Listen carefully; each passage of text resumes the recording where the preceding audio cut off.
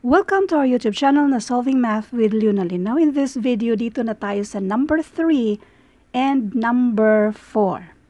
Now, masagutan lang natin ito kung i-review natin yung law of exponent at saka yung mismong PEMDAS. Kung paano ito i-follow.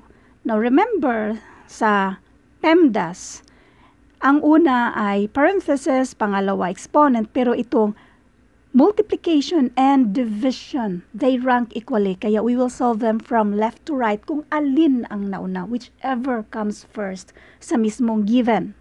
Okay, yan lang dapat niyong tandaan sa order of operations or kilala sa acronym na PEMDAS. So ito yung step number 3 at yung step number 4 ay yung addition and subtraction. They also rank equally. Kaya we will solve them from left to right, whichever comes first ba sa mismong given. So, yan lang ang wag na wag niyong kalimutan. Anyway, para sa mga first time pa sa channel ko, ito yung FB natin na wag na kayo mag-message dyan. Tambak na yan ng mga messages. Kung naghahanap kayo ng mga libreng printable na reviewers, punta na lang kayo sa files ng grupong ito, Philippine Civil Service Review for All na FB group. At ito naman yung iba pang mga FB groups na lagi nating tinatambayan. At ito ay mga FB pages na posibleng makatulong sa inyo. Now let's do number 3. Minsan nang may kahalintulad nito na lumabas mismo sa actual na exam. Kaya never memorize the answer kundi kung paano kaya ito sagutan ng tama. Huwag lang kalimutan yung law of exponent. So meron tayong PEMDAS. So mga parenthesis, exponent, at yung multiplication and division, they rank equally, kaya we will solve them from left to right kung alin ang nauna. Kung nauna ang division, unahin natin yan. Kung nauna ang multiplication, yan ang unahin natin. At ang addition at subtraction, kung alin ang nauna. Kung nauna si subtraction, unahin natin. Kung nauna naman si addition, yan ang unahin natin. Yan ang ibig sabihin ng left to right. Sa law of exponent, itong dalawa, isa lang dyan ang may positive na sagot. Ito ay negative of 2 squared. Yung square dito ay, yung exponent na yan ay nasa 2 lang. Kaya yung 2, yan ay 2 times 2 and this is 4. Yung negative sign, kopyahin lang natin yan siya. So this is negative 4. While ito namang si negative 8 squared, ang ibig sabihin nito ay negative 8 times negative 8. Kasi yung square na yan, yung exponent na yan, ay include na include yung mismong negative sign. So this is positive 64. Sino ba yan si Lunalyn para paniwalaan when it comes to law of exponent? Now magbasa tayo ng libro kung paano nyo ito naintindihan major mistake. So ito yung kadalasang mali sa mga estudyante. Student, students often think that the expressions such as, ano nandito? Negative 6 squared and negative of 6 squared are the same. So kadalasan daw mga estudyante, akala nila pariho lang itong dalawa. Ang explanation, they are not always the same. Bakit may word pa na always? Kasi kapag negative 6, tapos yung exponent ay odd numbers, tapos yung negative 6, tapos odd numbers, pariho kasi silang nagbibigay ng negative na sagot. Kaya they are not always the same. The exponent applies only to the symbol immediately preceding it. So, kapag ganito, included yung negative sign. Kaya, positive 36. While kapag itong nasa pangalawa na walang parenthesis, yung hindi na include bali si negative sign, yung 6 lang mismo ang madoble natin. So, kopyahin lang yung negative sign. So, the exponent applies only to 6. While itong unang set, the exponent applies to negative 6. Kasi nga, nasa loob ng parenthesis yung dalawa bago yung exponent na 2.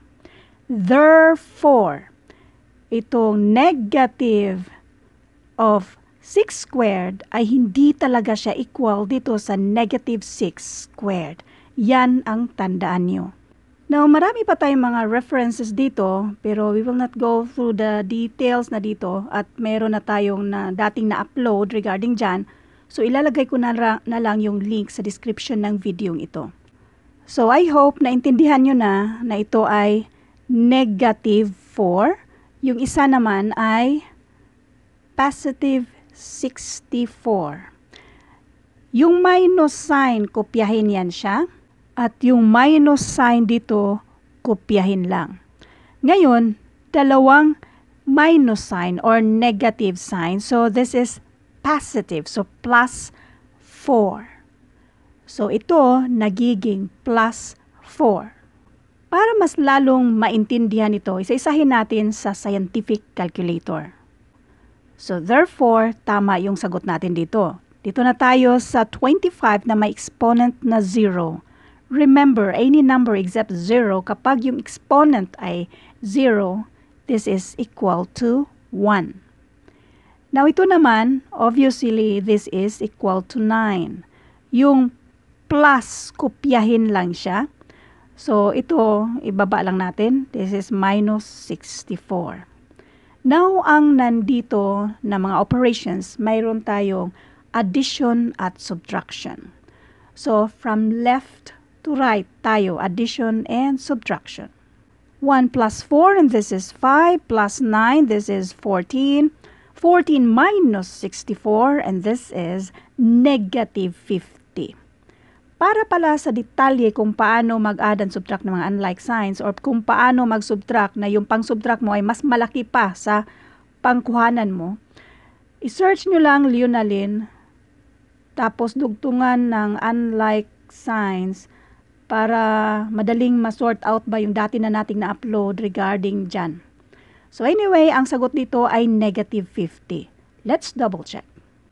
25 na may exponent na 0, then minus. Nasa loob ng parenthesis ay mayroon tayong negative 2, tapos yung exponent na 2, and then plus 3, tapos yung exponent na 2, minus yung nasa loob ng parenthesis, negative 8 at yung exponent na 2.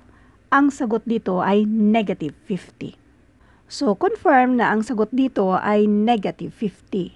Next. Minsan nang meron ding kahalintulad nito sa actual na exam. Number series, tawagin natin na itong number series. Kapag mga ganito, pattern lang ang hanapin natin. Ang problema ngayon ay yung mga choices. Kasi number lang na instead na ito yung uh, ini-expect natin na nasa choices. Anyway, hanapin muna natin yung pattern nito. Dito tayo sa last part na parihong 2. So obviously, 2 yung last dito. Yung operation, meron tayong division, multiplication, division. So alternate. So obviously, this is multiplication. Alternate yan siya. Next, yung nasa gitna, 1, 2, 3. So this is 4. Magkasunod lang. Again, yung operation naman ay alternate. Multiplication, division, multiplication. So therefore, this is division. Yung unang number, meron tayong 14, 12, 10, decreasing consecutive even numbers. So, obviously, this is 8. Ngayon, dapat ang in-expect natin sa choices natin ay dapat ito. Pero kung ang sagot mo ay 8, yung 8 na yan, mali yan. Kasi hindi naman kompleto na saan yung divided by 4 times 2. So, ang gagawin natin ay isolve natin ito kunin natin yung value nito. So, huwag niyong kalimutan yung order of operation or yung PEMDAS. So, nandito tayo sa step number 3 kasi ang nandito na operations, division at multiplication lang. Huwag kalimutan yung left to right. Basahin nga muna natin yung nasa grade 4 textbook. Which one is correct? Ang nandito, meron tayong division, multiplication, at division. Meron tayong mga choices. Is it letter A na unahin yung multiplication bago yung lahat ng mga division? Is it letter B na left to right? Or is it letter C na right going to left? Ang sagot dito, since there is only multiplication and division in the number sentence, we work from left to right. Thus, the correct answer is B. So, ito yung ibig sabihin ng left to right. Kahit alin ang nauna, whichever comes first. In cases where addition or subtraction is combined with multiplication or division, work from left to right pa rin, doing multiplication or division first bago yung addition or subtraction. Kasi yan yung pang-apat na step, yung addition or subtraction. So, balikan na natin to. So, according sa order of operations or kilalang PEMDAS, ang multiplication division they rank equally kay we will solve them whichever comes first from left to right. Unahin natin sa division kasi nauna si division. 8 divided by 4 and that is 2. 2 times 2 equals 4. Now let's double check using our scientific calculator. So we have 8 divided by 4 times 2. At ang sagot dito ay positive 4. So therefore, ang tamang sagot dito ay 4. Now for more examples regarding sa order of operation or PEMDAS, pwede niyong i-search PEMDAS tapos idugtong nyo yung Lunalin para madaling ma-sort out yung dati na nating na-upload regarding sa order of operation. So laging tandaan, parenthesis, exponent, ito yung step number 3. Step number 4, yung addition at subtraction. Marami din tayong mga nasa libro mismo galing sa grade 4, grade 5, grade 6 at meron din tayong galing sa grade 7. So, mababasa nyo yan or mapapanood nyo yan sa previous na video natin regarding sa order of operation. Thank you and God bless.